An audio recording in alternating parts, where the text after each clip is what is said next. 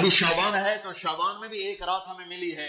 हाँ याद आ गया, पंद्रह शाबान की रात। हमारे नबी शाबान में रोज़े बहुत रखते थे। हम आयशा ने पूछा, आप इतने रोज़े क्यों रखते हैं?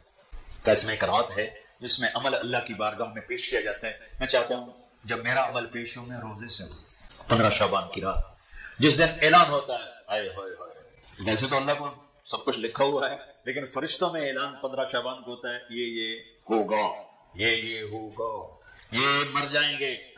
तो ऊपर उनका नाम मुर्दों की फहरिस्त में होता है, नीचे वो ज़िंदा होते हैं। फरिश्ते उनको देख के हँसते हैं कि कैसा बेवकूफ़ है ऊपर मौत के फैसले हैं, लड़ाइयाँ कर रहा है, झगड़े कर रहा है सूद खा रहा है, रिश्वत दे रहा है, जिना कर रहा है, झूठ बोल रहा है, जुए खेल रहा है, कत्ल कर रहा है डाका डाल रहा है, ऊपर मौत का फैसला हो चुका तो पंद्रह शाबान की रात, इसका भरोसा रखते थे। उसके लिए कोई मखसूस इबादत को नहीं, हमारे पंजाब, हमारे पाकिस्तान में बहुत अजीब व गरीब। लेकिन महाराज, जो भी इबादत करो, जितनी करो, ठीक है। लेकिन कोई मखसूस इबादत अल्लाह के नबी की तरफ़ से मनकूल को नहीं, रात ज़रूर है। और इस रात भी, इस रात भी मेरे नबी ने फरमाया, अल्लाह पंद्रह शाबान की रात अपने बंदों पे नज़र दौड़ाता है। दो के सिवा सबके लिए माफ़ी का ऐलान करता है। एक मुशरक और एक कीना पालने वाला, जो मैं पहले बयान कर चुका एक मुशरक और एक कीना पालने वाला, यानी किसी को नुकसान पहुँचाने के मंसूबे बनाने वाला। का इन दो के अलावा हमारे रजब और शाबान में बरकत अता फरमा। इला और रमज़ान हमें नसीब फरमा। का नबी दुआएँ मांगना शुरू दिया करते थे। दुनिया में दीन के ज़िंदा होने का सबक नबियों की मेहनत, दावत, जिसको सहाबा ने ज़िंदा किया तो तीन बर आज़म में इस्लाम की शक्लें कायम हो गई। फिर उम्मत ने भुला दिया। इतना भुलाया कि भूलना भी भूल गए। मुद्दत हुई, सयाद ने छोड़ा भी तो क्या? ताबे परवाज नहीं, राह चमन याद नहीं। तबलीग का काम ऐसा छूटा, दावत निकलने वाले को भी नफा देती है, सुनने वाले को भी नफा देती है। सदियों के बाद अल्लाह ने दावत का काम ज़िंदा किया और बर्र सगीर में दावत कभी मिटी नहीं। इनफरादी चलती रही, जब तो इस्लाम बाकी है। अगर दावत मिट जाती तो इस्लाम भी मिट जाता। लेकिन दावत का काम चला इनफरादी तौर पर। अल्लाह के नेक बंदे झंडा उठा के चलते रहे। सदियों के बाद दोबारा इस तबलीग का जहन अल्लाह ने ज़िंदा फरमाया। उस दावत की मेहनत से हर मुसलमान को ये जहन मिला कि हाँ दुनिया में दीन का फैलाना भी मेरे जिम्मे है और दीन पर चलना भी मेरे जिम्मे है। अभी जहन बना है, अभी अमल से बहुत दूर हैं, अभी जहन बना है, ये भी बहुत बड़ी अचीवमेंट है कि जहन बना है। कुछ तस्वुर ही नहीं था कि हम अल्लाह को राज़ी करने के लिए आए हैं। आखिरत हमारी मंजिल है, अल्लाह हमारी मंजिल है, जन्नत हमारा ठिकाना है, दुनिया गुजरगा है, कौन जानता था? नमाज़ रोज़े तक बस इस्लाम रह गया था, हज उम्र तक इस्लाम रह गया था। और आगे आगे कौमों में जाना बंद हो गया था। तो दावत का काम ज़िंदा हुआ। अभी तक बड़े मुश्किल से याद दहानी हो रही है। तो शिकारी ने छोटा सा आशियाने से परिंदा अंडे से निकला ही बच्चा उठा लिया। और अगर आपने पिंजरे में बंद कर दिया, एक कोठाली में पानी रख दिया, एक कोठाली में उसने दाना रख दिया, उसकी आँख खोली तो उसने पानी और दाना देखा, एक छोटा सा पिंजरा देखा, उसने उसी को अपना आसमान समझा, उसी को अपनी फिदा समझा, और दाने और पानी तक जाना अपनी ज़िंदगी की परवाज समझा। तो उसी में वो परवान चढ़ के उसी का वो आदि हो गया। एक दिन शिकारी को रहम आया, उसने अगर पिंजरे का दरवाज़ा खोलना कब बच्चा जा अपनी फिजाओं की तरफ़ लौट जा, अपने चमन आशियाने की तरफ़ लौट जा। तो परिंदा बड़ी मासूमियत से कहता है, ताब परवाज नहीं, राह चमन याद नहीं, मुद्दत हुई, सयाद ने छोड़ा भी तो क्या, ताब परवाज नहीं, राह चमन याद नहीं। मेरे दोस्त, तूने मुझे उस वक्त छोड़ा है जब मैं उड़ना भी भूल चुका हूँ और अपने चमन की राहें भी भूल चुका हूँ, अपने आशियाने को भूल चुका हूँ, बस मुझे इसी दाने पानी पे रहने दे, इसी पिंजरे में फड़ फड़ाने दे। यही मेरी दुनिया है। ये दुकान का पिंजरा, ये फैक्ट्री का पिंजरा, ये वजारत का पिंजरा, ये रोटी का पिंजरा, ये पानी का पिंजरा, ये गाड़ियों के पिंजरे। इनको कहते हैं निकलो, वो कहते हैं ताब परवाज नहीं डिग्रियों का पिंजरा इस तबलीग के ज़रिए से पुराना सबक याद हो रहा है कि निकलो। अल्लाह के पैगाम को लेकर निकलो। इस तबलीग के काम की ये बरकतें जो आप ये ये तो एक हमारे शहर का सारे गाफिल लोग यहाँ आके पता नहीं क्या कुछ करते थे। यहाँ ये जो नक्शा नज़र आ रहा है, इसके पीछे तबलीग का काम। ये पास मेरा गाँव है। मैं तो जिम्मेदार घराने में पैदा हुआ। हमारे गाँव में मौलवी साहब कम होते थे। तबलीग ने तबलीग को अल्लाह ने सबब बनाया। और ऐसे दूर दराज इलाकों में ये फिजा आपके सामने बनी हुई है। और मैं अभी दस मुल्कों का सफ़र करके आ रहा हूँ। हर जगह इस दावत की मेहनत से जो जिंदगियाँ बदली हैं लोगों के रुख बदले हैं, औरतों के, मर्दों के, बड़ों के, छोटों के। नापोली दूर दराज का इलाका है। सारा माफिया वहाँ रहता है। इटली। बयान करके वापस आए। दो दिन बाद एक फ़ोन है पाकिस्तानी शराबें बेच रहे हैं, सब कुछ कर रहे हैं। ये एक फ़ोन आया जिन्होंने, जो मुझ तक नहीं पहुँच सके, वो पता नहीं और अल्लाह कितने पैदा कर चुका होगा। एक फ़ोन आया, मैं रोम से वापस आ रहा हूँ पाकिस्तान के लिए। एयरपोर्ट पर फ़ोन आया।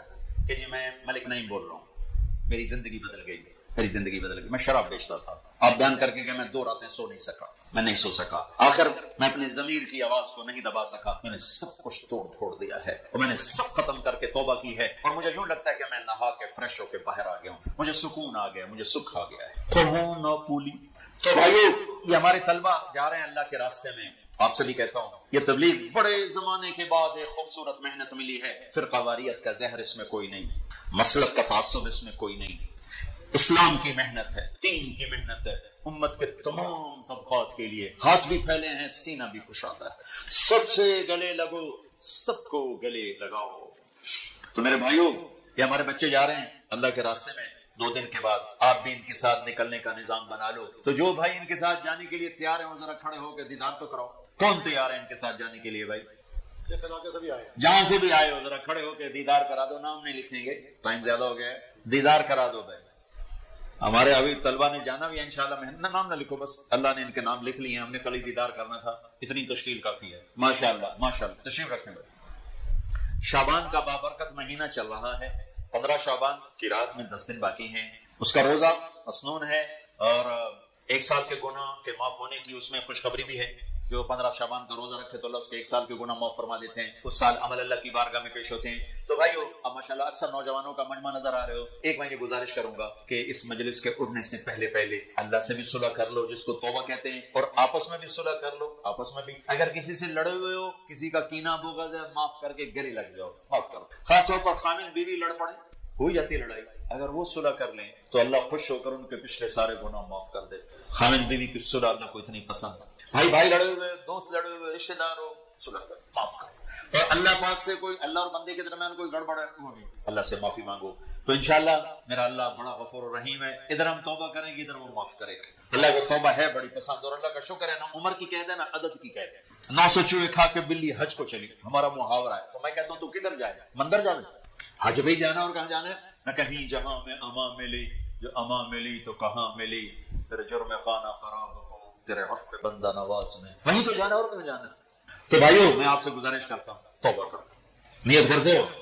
नियत करते हो? इंशाल्लाह आपका सब माफ़ हो जाएँगे। अगर फिर दोबारा हो जाए तो डरो नहीं। फिर करना, फिर माफ़ हो जाए। मेरा नबी ने फरमाया, दिन में सत्तर दफ़ा तोबा तोड़े। लेकिन तोबा कर ले तो अल्लाह उससे खुशी से माफ़ करेगा। ये दिल में ना आए कि ऐसी तोबा का कोई फ़ायदा नहीं। लोगों के फतवे ना सुनना, हमारे यहाँ दीन से बहुत बेखबरी। बहुत बेखबरी। एक हमारे यहाँ फतवा बड़ा सस्ता है, एक नुस्खा बड़ा सस्ता है। जिसके सामने कोई बीमारी ज़िक्र करो, कोई नुस्खा थप देगा तुम ये इसके सामने कोई बात करो, फतवा जड़ दे। मुफ्ती बनते बनते उम्रें गुजर जाती हैं। और फिर भी एहतियात बरतते हैं। हर बंदा मुफ्ती। तो भाई, डरना नहीं। अगर गुनाह हो जाए, फिर तोबा करना, फिर माफ़ हो जाएगा। फिर हो जाए, फिर तोबा करना, फिर माफ़ हो जाएगा। मरते दम तक तोबा करते रहना। किसी दरमियाने वक्त में मौत आई तो काम बन जाएगा। करते हो? कहो या अल्लाह मेरी तो फिर कहो या अल्लाह मेरी तो फिर कहो या अल्लाह मेरी तो और इंशाल्लाह अगर आपने पक्की की है तो आपको मुबारक हो सब माफ़ हो। आप सारा मजमा ऐसे बैठ बैठो जैसे अभी माँ के पेट से जन्म लिया। कितनी मज़े की बात है कि सारे गुनाह माफ़ हो अल्लाह राजू भी हो गया अल्लाह खुश भी हो गया।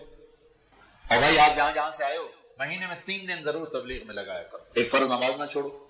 अपनी ज़िंदगी से तीन काम निकाल दो। एक जुल्म एक झूठ एक धोखा। तीन काम निकाल दो। जुल्म निकाल दो, झूठ निकाल दो, धोखा निकाल दो। हमारे अवाम भी जालिम है। अदालतों में जाके देखो कितने झूठे मुकदमे चल रहे तो कोई सियासतदान नहीं है, कोई वज़ीर नहीं है। आम लोगों ने, देहातियों ने झूठे मुकदमे, झूठी गवाहियाँ, खुद उंगलियाँ तोड़ के जरी डॉक्टर सर्टिफिकेट बनवा के आ जाते अपनी ज़िंदगी से झूठ निकाल दो, जुल्म निकाल दो, धोखा निकाल दो। तीन चीज़ें दाखिल कर दो। इंसाफ को डाल लो, सच्चाई को डाल लो दयानतदारी को डाल लो। दुनिया और आखिरत की इज्जतों का जिम्मेदार है अल्लाह का हबीब। फराइज की पाबंदी करो, कबीरा गुनाहों से बचो। हो जाए तोबा करो माँ बाप ज़िंदा है, राज़ी करो। बीवी के साथ हुसन सलूक करो। बच्चों को हलाल खिलाओ, आराम ना खिलाओ। झूठ का, रिश्वत का बद्यांती का, खैनत का, मिलावट का पैसा ना खिलाओ। ये जहर है जो बच्चों के अंदर जा रहा। हलाल खिलाओ, मुतमैन हो जाओ। अल्लाह इन्हें पालेगा, इन्हें संभालेगा। और जहाँ जहाँ से आए हो, महीने में तीन दिन तबलीग में लगाते रहना। ठीक है? प्रोग्राम फिर जब अल्लाह हिम्मत चार महीने में लगा लेना, चिल्ला भी लगा लेना।